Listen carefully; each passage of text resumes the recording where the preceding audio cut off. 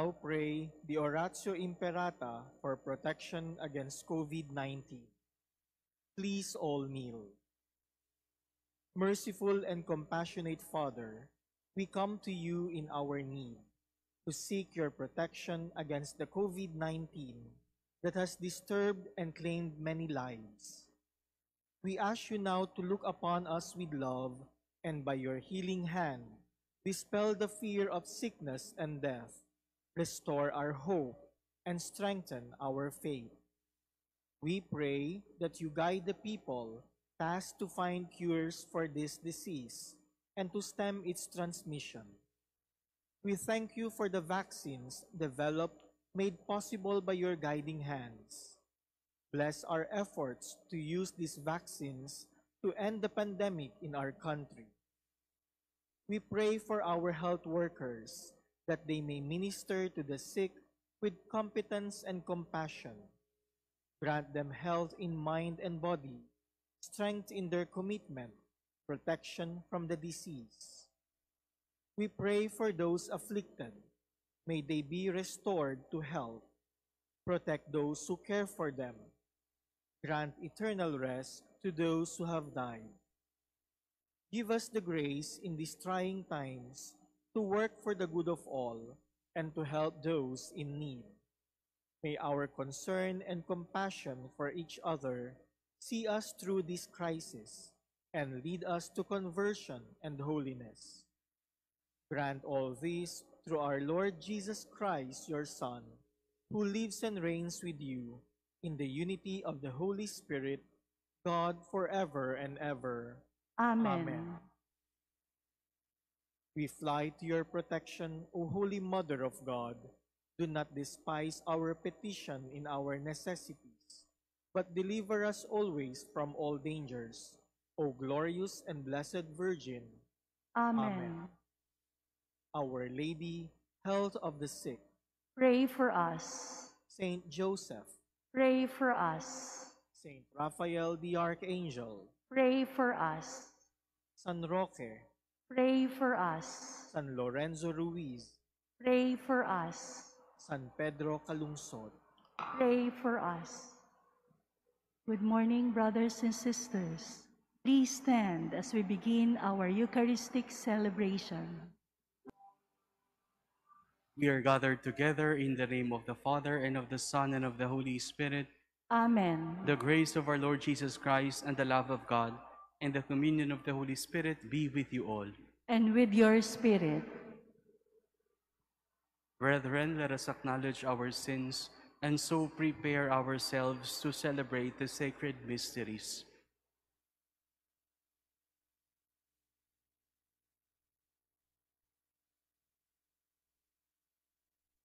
You were sent to heal the contrite of heart. Lord, have mercy. Lord, have mercy. You came to call sinners. Christ, have mercy. Christ, have mercy. You are seated at the right hand of the Father to intercede for us. Lord, have mercy. Lord, have mercy. May Almighty God have mercy on us, forgive us our sins, and bring us to everlasting life. Amen. Let us pray.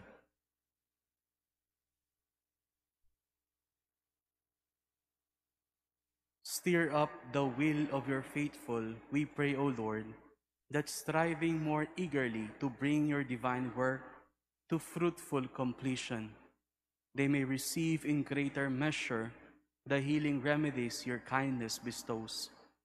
Through our Lord Jesus Christ, your Son, who lives and reigns with you in the unity of the Holy Spirit, one God forever and ever.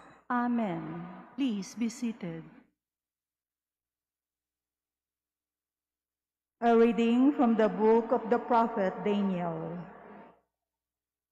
Daniel said to Nebuchadnezzar, In your vision, O king, you saw a statue, very large and exceedingly bright, terrifying in appearance as it stood before you.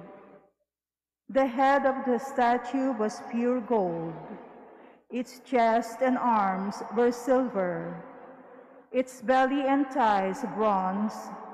The legs iron.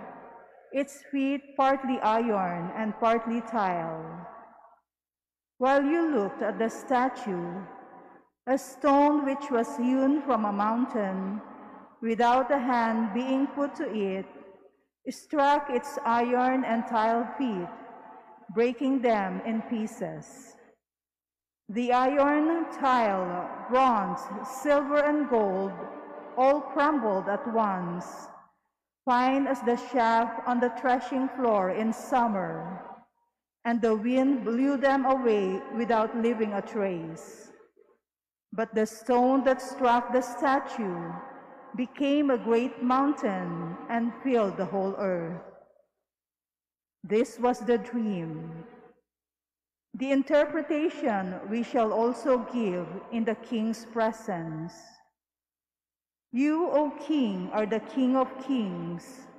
To you, the God of heaven has given dominion and strength, power and glory.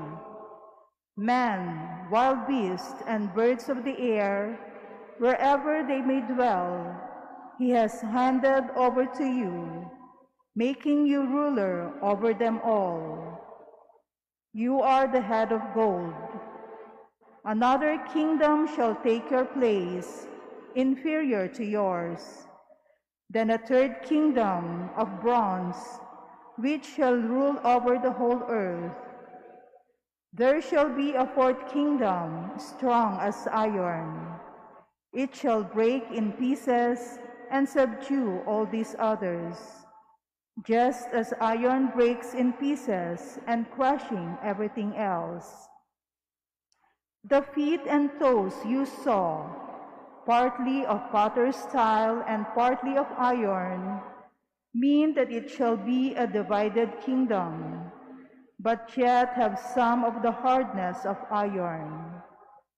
As you saw the iron mixed with clay tile, and the toes partly iron and partly tile, the kingdom shall be partly strong and partly fragile.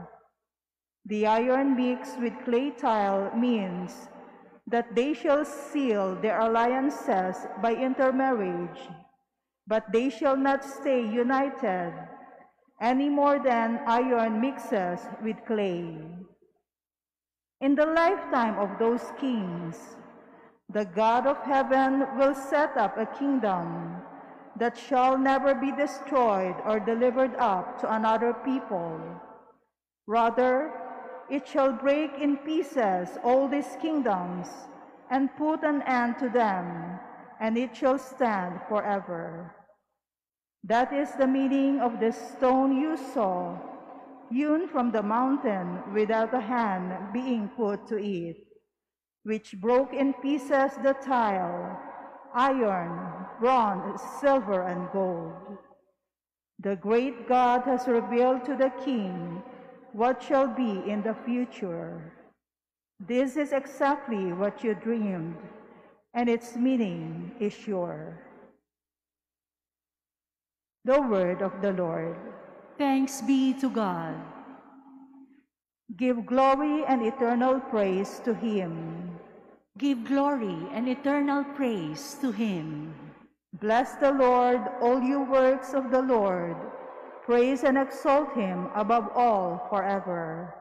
Give glory and eternal praise to him. Angels of the Lord, bless the Lord. Praise and exalt him above all forever. Give glory and eternal praise to him. You heavens, bless the Lord. Praise and exalt him above all forever. Give glory and eternal praise to him. All you waters above the heavens, bless the Lord. Praise and exalt him above all forever. Give glory and eternal praise to him. All you hosts of the Lord, bless the Lord. Praise and exalt him above all forever. Give glory and eternal praise to him. Please stand.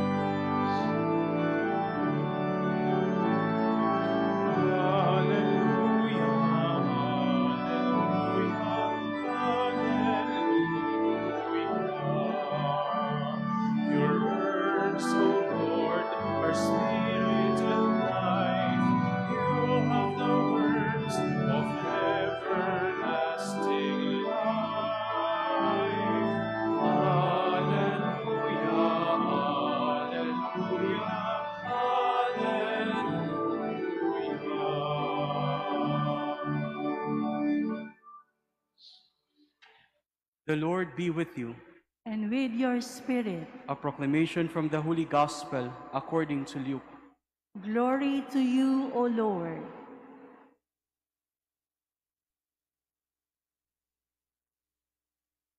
While some people were speaking about how the temple was adorned with costly stones and votive offerings, Jesus said, All that you see here, the days will come when there will not be left a stone upon another stone that will not be thrown down. Then they asked him, Teacher, when will this happen? And what sign will there be when all things are about to happen? He answered, See that you not be deceived, for many will come in my name, saying, I am he. And the time has come. Do not follow them. When you hear of wars and insurrections, do not be terrified, for such things must happen first, but it will not immediately be the end. Then he said to them, Nations will rise against nations, and kingdoms against kingdoms. There will be powerful earthquakes, famines, and plagues from place to place, and awesome sights and mighty signs will come from the sky. My dear brothers and sisters, the good news of our salvation. Praise to you, Lord Jesus Christ. Please be seated. Magandang umaga po sa ating lahat. In our gospel today, Jesus speaks again of the end of the world.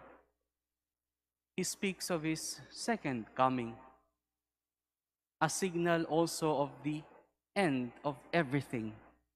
And by everything, he really means everything. And it includes you and me. Lahat, lahat. He speaks of the temple as the reference point. Since people were adoring the embellishment of it, he says that this too will not be lasting, will not going to last.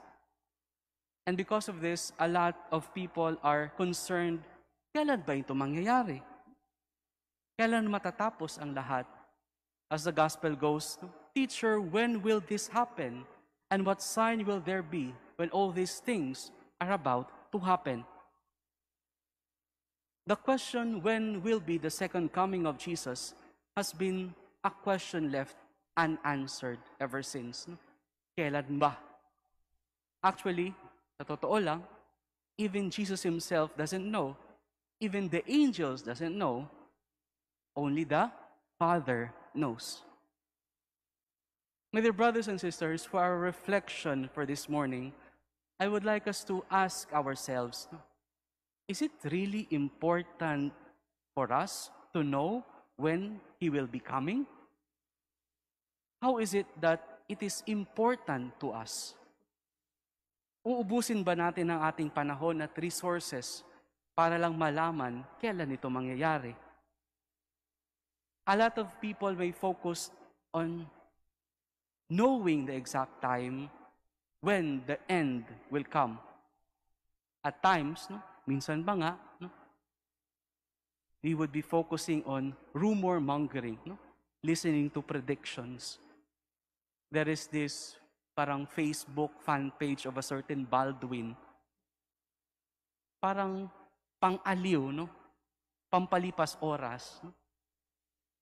Umaandar yung pagiging marites ng lahat sa atin. Most does this mainly because of the fear of death. Dahil tayo mismo ang mamamatay. Eh. Even now, especially during the pandemic, there are a lot of uncertainties. We fear death because most are not ready to face it. And for us believers, we would like to be with God dahil naniniwala tayong may Diyos. Perhaps our final and ultimate end goal in life will be with Him. And this is through crossing a threshold called death. Lahat tayo dito ay gustong makapiling ang Diyos. Pero ang tanong, sinong gustong mauna? Sinong gusto? Wala. Ito ang madalas natin sinasabi ko tuwing burol, no? How are we then to resolve and perhaps suggest as a solution? How are we to prepare for this inevitable? The answer, my dear brothers and sisters, is a bit simple. And for us Christians, this is to stay close to Jesus. Papaano? Don't just preach His message. Live it. Kailan? Saan? Here and now. Not tomorrow, not yesterday, but today. Live life in the present. And for our reflection today, we are invited to check our personal values. How do we carry our concerns when we engage in our everyday dealings with the other? Is it a value of Jesus? Is it one of the gospel values that He teaches us?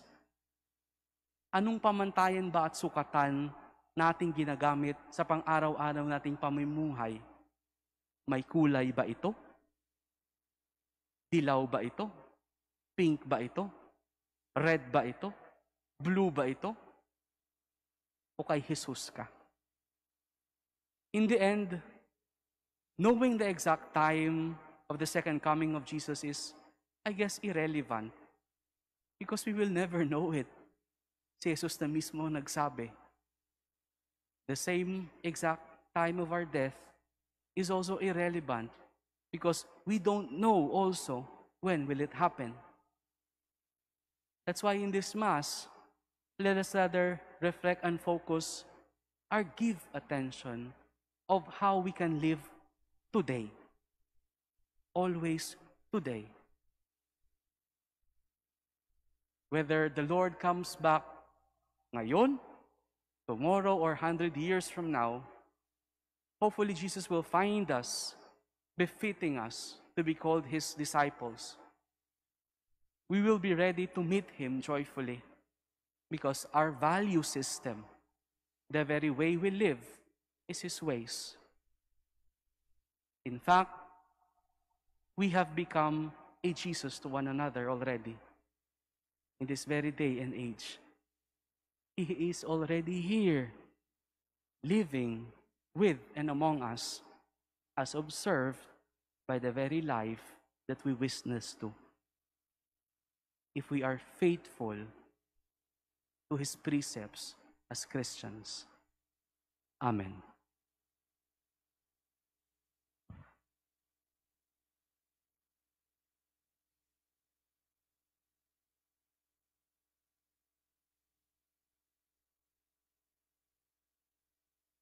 Please stand.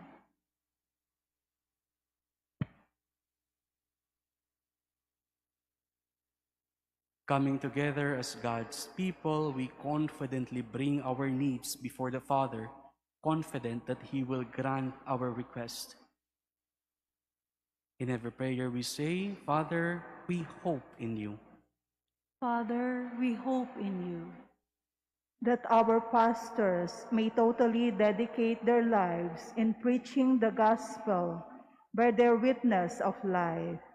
Let us pray to the Lord. Father, we hope in you. That parents and teachers may become living examples of faith to those under their care. Let us pray to the Lord. Father, we hope in you. That we may try our best to do what is right, and may God's word be a living power influencing our actions. Let us pray to the Lord. Father, we hope in you. That we may show compassion to the elderly, the lonely, and the sick. Let us pray to the Lord. Father, we hope in you. That the dead, especially Dr. George T., may find rest and new life in the kingdom of God. Let us pray to the Lord. Father, we hope in you. Heavenly Father, deepen our faith so that we may grow in your love and always serve you with generous and sincere hearts. We ask this through Christ our Lord. Amen. Amen. Please be seated.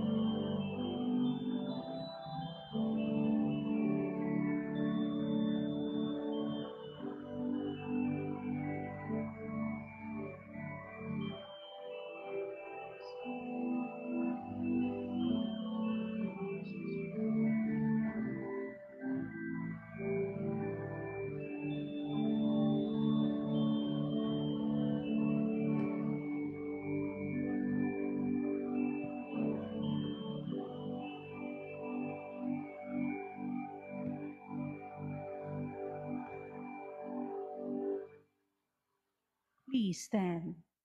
Pray, my dear brothers and sisters, that my sacrifice and yours may be acceptable to God, the Almighty Father. May the Lord accept the sacrifice at your hands for the praise and glory of his name, for our good and the good of all his holy church.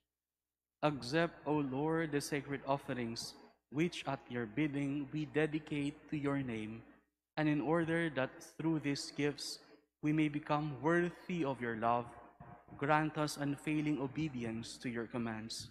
Through Christ our Lord. Amen.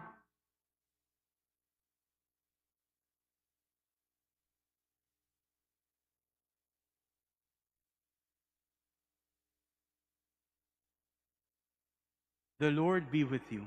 And with your spirit, Lift up your hearts. we lift them up to the Lord. Let us give thanks to the Lord our God. It is right and just. It is truly right and just, our duty and our salvation, always and everywhere to give you thanks, Lord, Holy Father, Almighty and eternal God, through Christ our Lord. His death we celebrate in love, His resurrection we confess with living faith, His coming in glory we await with unwavering hope. And so with all the angels and saints, we praise you as without end we acclaim. Holy, holy, holy Lord God of hosts. Heaven, and earth are full of your glory. Hosanna in the highest. highest. Blessed is he who comes in the name of the Lord. the Lord. Hosanna in the highest. Please kneel. You are indeed holy, O Lord, the fount of all holiness. Make holy, therefore, these gifts, we pray, by sending down your Spirit upon them like the dew fall, so that they may become for us the body and blood of our Lord Jesus Christ. At the time he was betrayed and entered willingly into his passion, he took bread and giving you thanks, broke it, and gave it to his disciples, saying, Take this, all of you, and eat of it, for this is my body, which will be given up for you.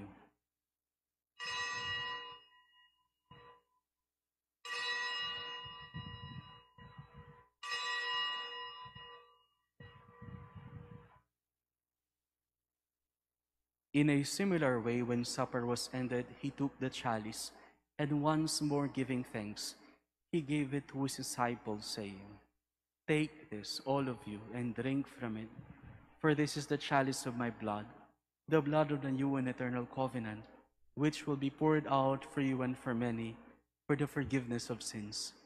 Do this in memory of me.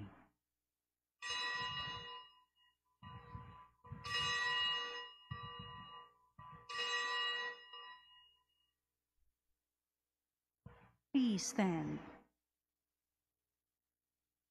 The mystery of faith. We proclaim your death, O Lord, and profess your resurrection until you come again. Therefore, as we celebrate the memorial of his death and resurrection, we offer you, Lord, the bread of life and the chalice of salvation, giving thanks that you have held us worthy to be in your presence and minister to you. Humbly we pray that partaking of the body and blood of Christ, we may be gathered into one by the Holy Spirit. Remember, Lord, your church spread throughout the world, and bring her to the fullness of charity, together with Francis our Pope, Jose our Bishop, and all the clergy. Remember also our brothers and sisters who have fallen asleep in the hope of the resurrection, and all who have died in your mercy. Welcome them into the light of your face.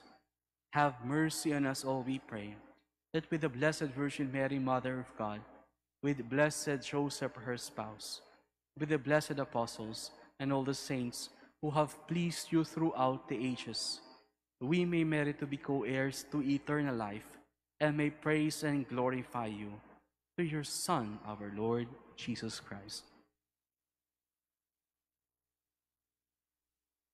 Through him and with him and in him, O God, Almighty Father, in the unity of the Holy Spirit, all the glory and honor is yours forever and ever. Amen. At the Savior's command and formed by divine teaching, we dare to say, Our, Our Father, Father, who art in heaven, hallowed be thy name. Thy kingdom come, thy will be done on earth as it is in heaven. Give us this day our daily bread, and forgive us our trespasses, as we forgive those who trespass against us. And lead us not into temptation, but deliver us from evil. Deliver us, Lord, we pray, from every evil. Graciously grant peace in our days, that by the help of your mercy we may be always free from sin and safe from all distress, as we await the blessed hope and the coming of our Savior Jesus Christ. For the kingdom, the power, and the glory are yours, now and forever. Lord Jesus Christ, who said to your apostles, Peace I leave you, my peace I give you. Look not on our sins, but on the faith of your church, and graciously grant her peace and unity in accordance with your will, who live and reign forever and ever. Amen.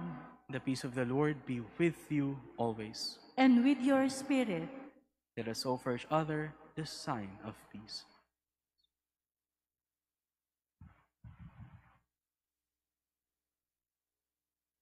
Lamb of God, you take away the sins of the world. Have mercy on us. Lamb of God, you take away the sins of the world. Have mercy on us. Lamb of God, you take away the sins of the world. Grant us peace. Please kneel.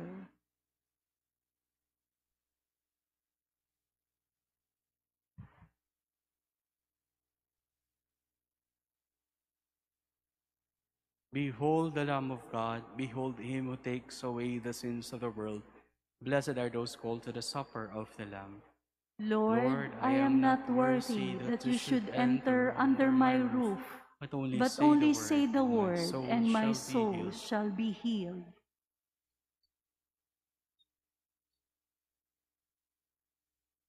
act of spiritual communion. My Jesus, I believe that you are present in the most holy sacrament. I love you above all things, and I desire to receive you into my soul. Since I cannot at this moment receive you sacramentally, come at least spiritually into my heart. I embrace you as if you were already there and unite myself wholly to you. Never permit me to be separated from you. Amen.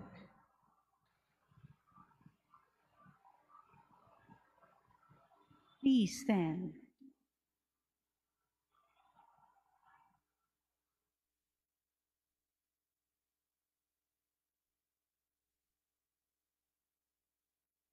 Let us pray.